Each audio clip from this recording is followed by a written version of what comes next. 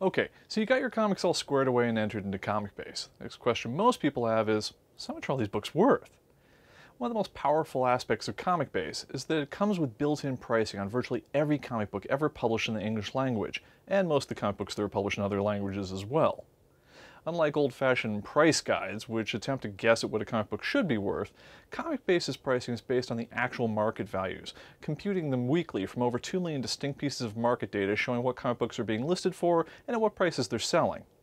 When you use your ComicBase subscription and download the weekly update, you'll have the option to automatically update the values in your database to match the current market prices. Each issue in ComicBase has both a current value and a selling price. The current value is the current market average of what that particular issue is selling for in near mint condition. It then uses a series of grading percentages found in the setup menu's grading command to figure out what that issue would be worth in other conditions. The selling price is how much you want to sell your copy for. By default, ComicBase sets the selling price to the current market value, plus or minus a bit of rounding if your copy is in a grade other than near mint. But you can set your selling price to be higher than the current market value if you like, or lower it if you want to offer somebody a deal. Sometimes when you're in the main view of ComicBase, you'll notice that some lines are in blue and others are in red. The blue lines are the ones where the comic value has dropped in the past year. The red lines are the ones where the value has gone up significantly. If you have a Pro or Archive edition of ComicBase, you can also click on any issue and choose the Graph tab of the display to see how the price has changed over the past four years. In all editions of ComicBase, you can use the Atomic Avenue tab to see how your copy of an issue compares to the copies that are available for sale on the system right now.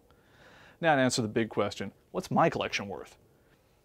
Well, the best way to do that quickly is to use the File menu's ComicBase Statistics command. This gives you a summary of how many books are in your collection and what their current expected market value is, as well as what they'd be worth at the current selling price. If you've been entering your costs, it'll also compute how much you'd stand to gain if you sold your collection. Down below, you can have ComicBase break down your collection statistics by everything from the publisher to the average cover price. For you statistics buffs, this can be a lot of fun. For instance, I had no idea so many of my books were British. You can get a summary report of your collection by clicking the print button. For many folks, this is the exact report that your insurance company is going to ask you for when you need to provide a basis for insuring your collection. You can also click the graph button at the right to see a pie chart showing your collection breakdown in graphic form. By default, the pie chart is shown in tasteful shades of blue, but if you prefer a more colorful version, hold down the Alt key when you click on the graph button. As one final tip, you can double-click any item in any breakdown, either in the list or the graph views, to see all the comics that fall into that category. For instance, when I've broken down my collection by value range, I can double click on this slice over here and see the details on my most valuable comics. That's about it for this pricing-packed edition of ComicBase Tips.